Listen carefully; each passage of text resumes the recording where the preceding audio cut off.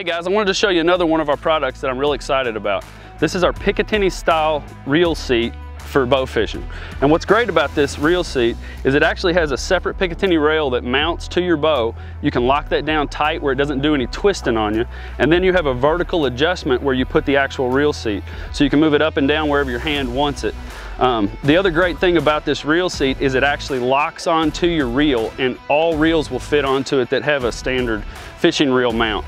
Um, but what you do is you loosen these side screws and then you run this screw in from the front and that'll tighten and compress everything down super tight. And then this reel seat is locked in. You put those two screws back together and you're ready to go until you're done fishing. Check it out at CajunBowfishing.com.